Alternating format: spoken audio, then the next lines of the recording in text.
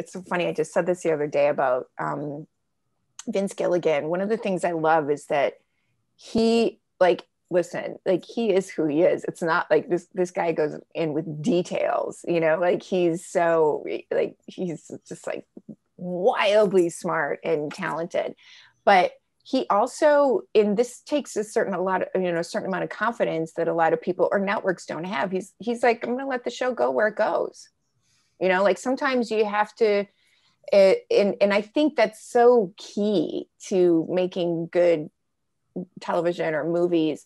Um, and i feel like i got to be a part of that and see it and it was really exciting. Like i know some of the things they had planned that we told we ended up not doing and now that you look back it it you know it this the, the choices they made were far better than the than what we thought you know like maybe they thought they were going to do.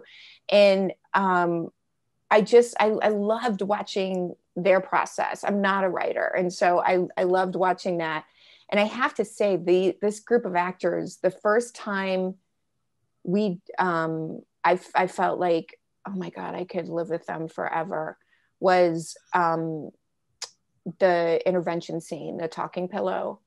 And it just I, I i will never forget this day. Oh my god. And it just it, it, was like it was contagious and it just worked so well. It was as if we had been working together for years and rehearsed to this. There was just such a rhythm that we had and you and it was so special and you felt the crew feel it and they they everyone was just so excited about I think that was when we were really aware of like what this cast was together. And it was it's still to this day one of the best scenes i've ever shot in my life. I i texted vince and said i want to make t-shirts that say intervention and whatever year it was. I really don't know what year it was.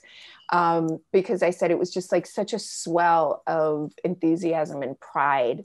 And it was um, honestly, like I can remember shooting that scene like I'm watching a movie. I remember the conversations I had with Dean. I like all of it. I I remember asking for another take, and I was pretty young in my career, and so I felt like I shouldn't do that. And Dean was like, "Ask ask for another one," and I did, and that was like the one that I then I did everything I wanted to do in those moments, um, and it was great. And like Dean and I found some humor in there, and it was, you know, just it's to this day like one of the best scenes. I'm, I'm sure I'll say that if you ask me 20 years from now, I'll bring up that that scene.